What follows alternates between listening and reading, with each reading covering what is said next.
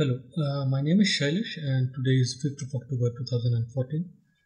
Uh, today we will solve the first problem from Irodov's book.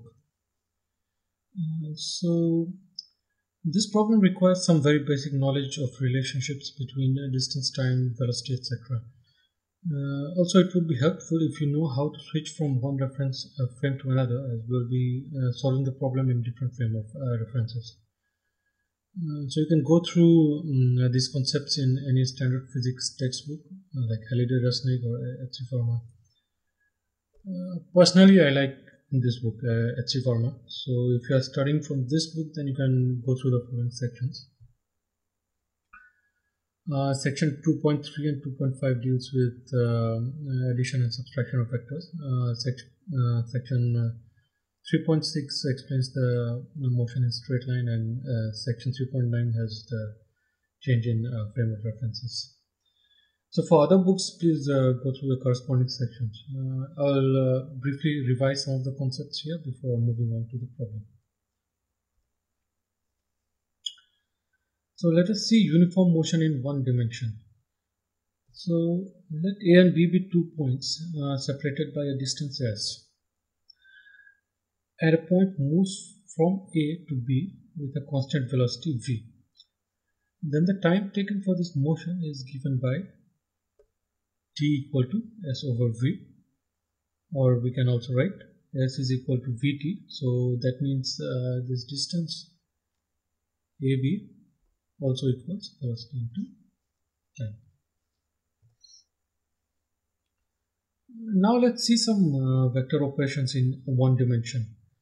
So the present problem uh, deals with uh, the motion of a motorboat in a river. So let's take this as an example. Let's say that in a still river, uh, the motorboat moves with a velocity v. And let the river also starts moving in the same direction with a velocity vi. Now the net velocity of the motorboat will be the vector sum of the two. We add the initial tail to the final tip, this to this, to get the vector v plus vr. This means the motorboat will now move to right with a higher speed of v plus vr. Let's say the motorboat uh, now changes the direction and now its velocity is minus v and the river moves with the same velocity vr. The resultant in this case is again given by joining the initial tail to the final tip this to this. So this is the vector uh, minus v plus vr uh, which also equals minus of v minus vr so now the motorboat moves to the left uh, with a smaller velocity or, or, or a smaller speed v minus vr so when the motorboat moves with the flow the flow speed is added to it and when it moves against the flow the flow speed is subtracted from it.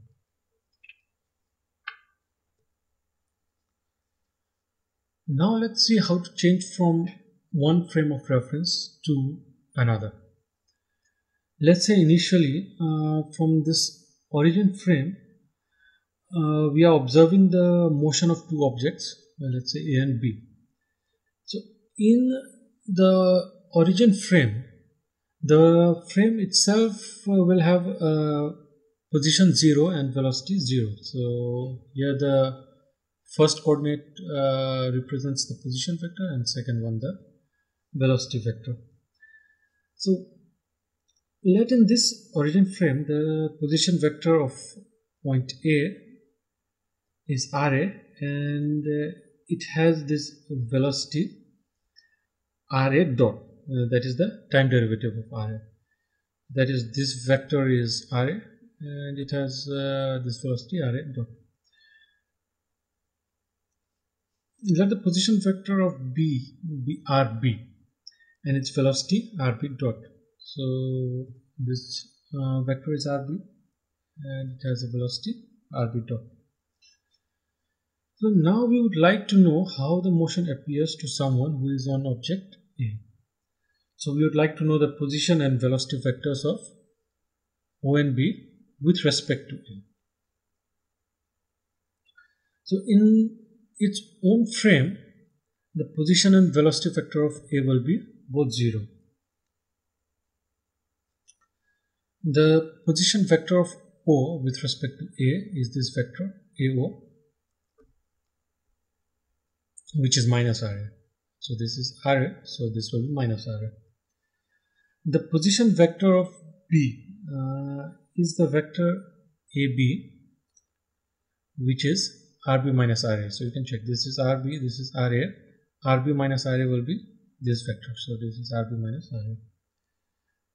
So O has a position uh, vector minus RA and its time derivative will be minus RA dot. And so its velocity is minus r dot. So B has a position vector of RB and uh, its time derivative is rb dot minus ra dot. So the velocity of A will be minus ra dot. This is ra dot, so minus ra dot will be opposite to this. And the velocity of B, B is this one. So this is rb dot and minus ra dot. So now we complete the parallelogram and you find the resultant. So this is the vector rb dot minus ra dot. So now we know the position and velocity vectors in the reference frame of A. So now you can easily see that uh, we can get all the position and velocity vectors in the reference frame A by subtracting the position and velocity vectors of A in the previous frame. So you subtract RA and RA dot at all the places. You uh, subtract it here and you subtract it here and you will end up with these values. Can you see this? So you subtract RA dot RA dot here, you get 0. You subtract RA, RA dot, you get minus RA minus RA dot and you subtract RA, RA, RA dot here. So you get RB minus RA and RB dot minus RA dot. So so now we have shifted to the frame of reference of A and after that uh, we can apply the usual equations of motion. So I hope you got the technique. Uh, to move to the reference frame of A, we subtracted position and velocity vectors just everywhere in the system. So this is the technique to shift to the frame A. So you subtract its position and velocity vectors everywhere and then continues to analyze the motion with uh, usual equations of motion. Here it is also important to keep in mind that the frame A should have uh, zero acceleration. So if frame A has some acceleration, then again we can shift to the reference frame A by subtracting the position and uh, velocity vectors and also the acceleration vector. So there will be a term R a double dot that also we will subtract from the system. So um, uh, but uh, then one has to be a little bit careful because it's uh, now possible that the Newton law might not remain valid after uh, shifting to such accelerated frames. So, and in principle, uh, then we will need to add some extra forces in order to use the Newton's law again. So, such forces are called pseudo forces. Uh, so, probably you have already heard terms like Coriolis force, centrifugal, force, etc. So, these are all examples of pseudo forces. So, so these forces do not have any physical origin as such. So we just add them in order to uh, so in able to compensate for the shifting into the these uh, accelerated frames, uh, and so that we can use the Newton's laws again. So we'll learn more about these later, um, especially in circular motion. So now let's move on to the problem. So it says a motorboat going downstream overcame a raft at a point A. Tau equal to 60 minutes later, it turned back and after some time passed the raft at a distance L equal to 6 km from the point A. Find the flow velocity assuming the duty of engine to be constant. Okay, so let's try to uh, visually understand this problem a little bit. Let's say the motion takes place in a river which moves uh, from left to right on this screen. So the raft will move with the river with same velocity uh, let us assume that the motorboat also moves uh, from left to right initially, although no information about this is given. So now the problem says um, that at some point A, the raft and motorboat are together. Then the motorboat moves ahead and the raft also moves. And this motion continues. And after time tau, the motorboat turns back. So on this return motion, the speed value is smaller as it is moving against the flow. The raft moves with same velocity and at some point the raft and motorboat meet again and it is given that this distance from point A is L.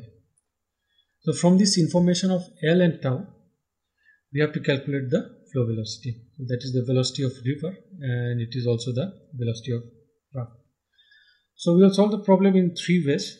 Uh, so let's uh, move on with the first one.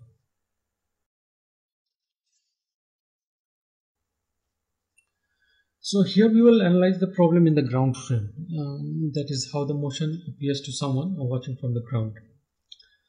So from the ground frame, uh, point A is fixed, so its velocity is zero.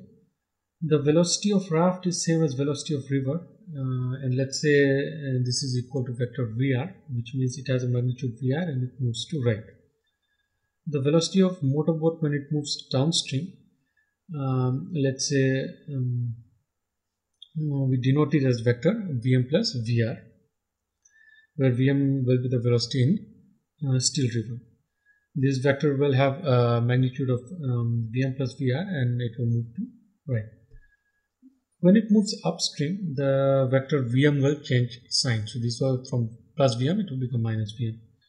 And then we add the velocity of river. So we add Vr to this. Uh, so this gives uh, us a velocity of V minus Vm minus Vr moving to left. So here we take out the minus and that signifies the left direction. Okay. So here is the situation again. Uh, the raft and motorboat are initially together. Let's call the other point from where the motorboat returns as point B. So the motorboat moves to B and returns and meets the raft at some point. Let's call this point as C. Now the motorboat moves from A to B, A to B with a velocity of Vm plus Vr and it takes a time tau. So this distance AB will be equal to velocity into time that is Vm plus Vr into tau. Uh, the motion from B to C takes place with a velocity Vm minus Vr and we do not know how much time it takes to cover this distance. So let's assume that this time is tau prime so the distance BC will now be equal to Vm minus Vr into tau prime. And this distance AC is L. Also now the total time the motorboat takes to move from A to B and then back to C is tau plus tau prime. And in this time tau plus tau prime, the raft moves from A to C with a velocity vr. So AC will also be equal to the velocity into total time. So this is vr into tau plus tau prime. So from these informations, uh, we will just try to set up some equations. So tau prime and Vm are not given. Hence we need to eliminate them from the final results. So let's see how to do this. So here's the situation again. Uh, so one obvious relation that we can write is AC equals uh, AB equals AC plus CB. So now we substitute the values. Uh, so AB equals Vm plus Vr into tau. AC equals L, it also equals Vr into tau plus tau prime. Uh, so uh, we can substitute anyone. So I'll just substitute the second one because it has similar looking terms and CB equals Vm minus Vr into tau. So now some terms cancel out on the right side and we get this and sometimes again cancel out from the right and left hand side and we basically end up with this. So vm into tau prime equal vm into tau so assuming vm to be non-zero we get tau prime is equal to tau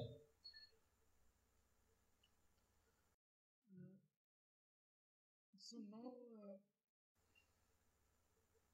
it is interesting to note that this uh, tau prime does not depend on, on, on vm the factor Vm just appeared here as a, a multiplicative term and it went away.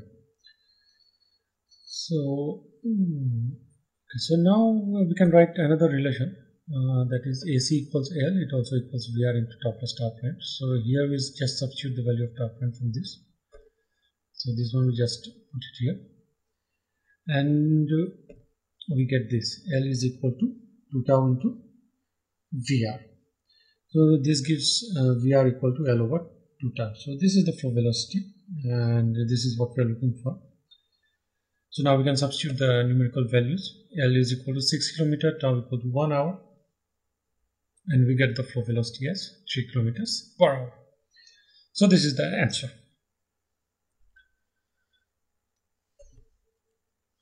So now let's try to analyze uh, this motion from the raft frame of reference. So this is how the motion appears to someone who is observing from the raft.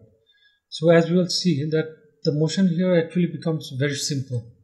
So first let's see how to shift to the raft frame of reference and what are all the velocities in the raft frame.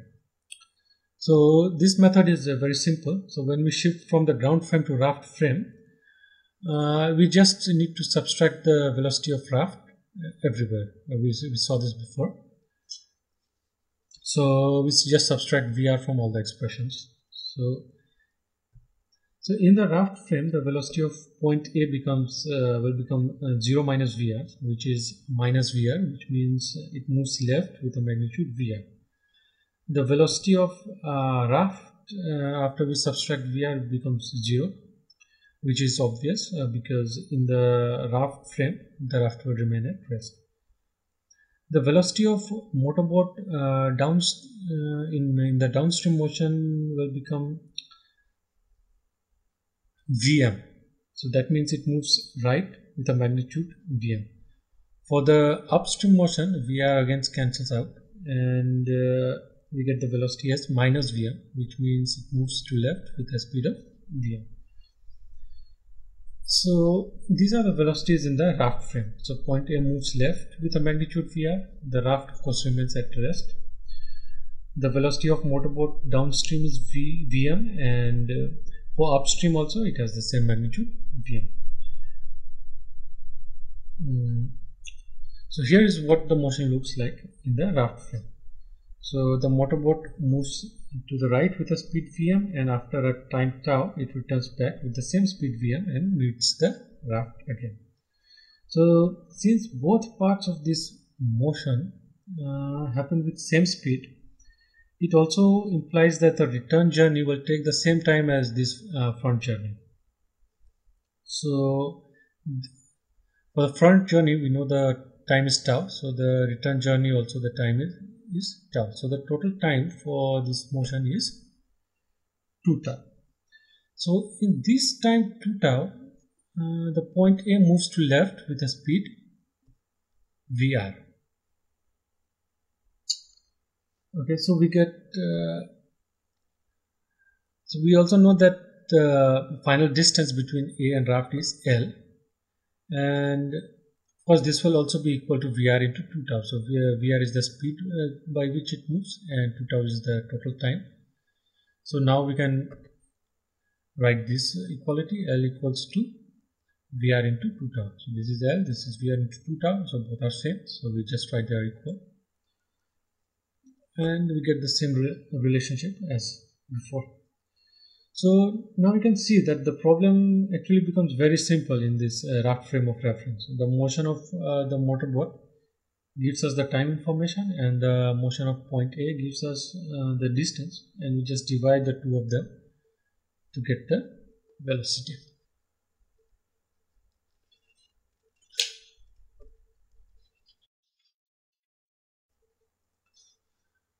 let us also analyze the motion in the motorboat frame of reference. So that is how the motion appears to someone observing from the motorboat. So a point to note is that the motorboat frame is not inertial. Uh, that is because at time tau, the motorboat changes direction. That is, uh, it accelerates at that instant tau. So, so to deal with accelerated frame of references, uh, one in general needs to add extra forces. So in this case, we just ignore the motion at, at this instant tau. And for the remaining parts of motion, of course, the motorboat frame is inertial because it is moving with a uniform velocity. So now let's see how to shift to this uh, motorboat frame of reference. So we have all these velocities in the raft frame and now to move uh, to the motorboat frame of reference, we subtract the velocity of motorboat everywhere. But this uh, velocity of motorboat, it has two values for downstream and upstream motion. So we separate the whole motion into two parts, uh, one for upstream and another for downstream.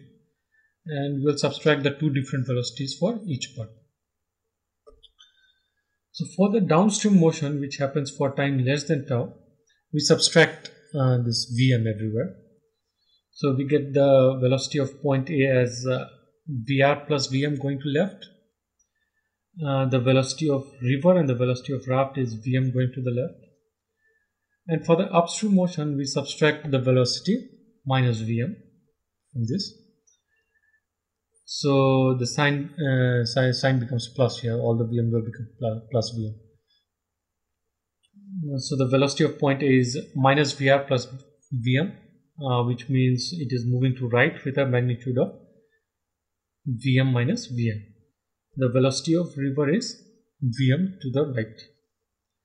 And of course the motorboat uh, velocity will be zero because in the motorboat frame its uh, one velocity will be zero both, both for upstream and downstreams. So what I would also like you to verify is that instead of moving from the raft frame to the motorboat frame, so here we took the velocities in raft frame and switched to the motorboat frame. So instead of doing that, if we take the velocities in the ground frame and then switch to the motorboat frame, we should get the same velocities. So we have we should have all the same values here. So please verify this. So you just take the velocities in the ground frame and switch uh, from there to the motorboat frame and just check that you get you get the, the same values here.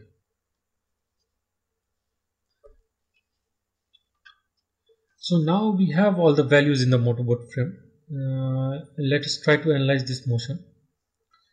So initially the raft and motorboat are together at point A and then the raft moves left mm, with a speed of Vm plus Vr and after a time tau it moves uh, uh, sorry the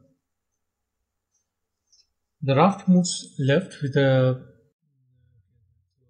let me just check the raft moves left with a speed vm and after uh, a time tau it moves right with the same speed vm okay so it moves with a vm like uh, this way and after time time tau, it returns and moves back to the motorboat with the same speed vm.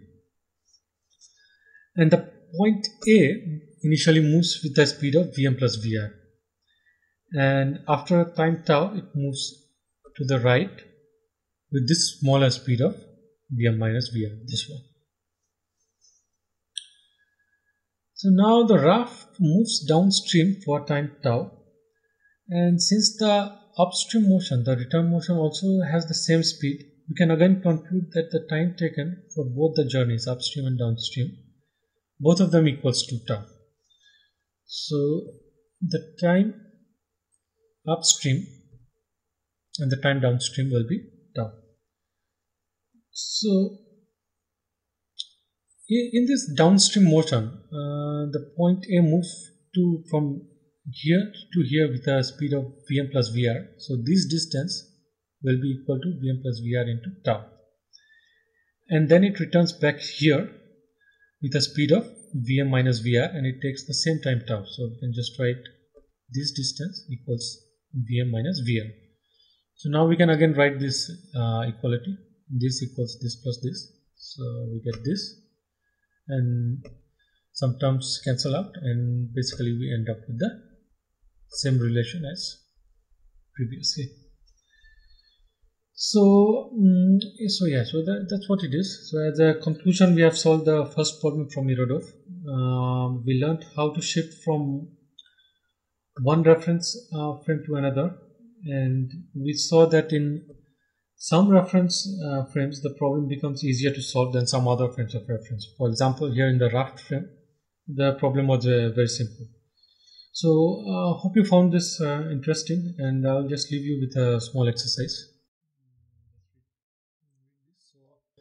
Please refer to this uh, solution in, by method 1 so that time when we calculated tau prime equal to tau we had assumed Vm to be non-zero and then we cancelled out Vm and we got this expression so let's say if Vm equals 0 then what can you say about these values of tau prime L and Vm so uh, so yeah you can think about this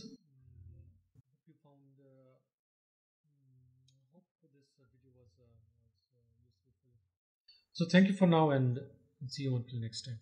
Uh, bye.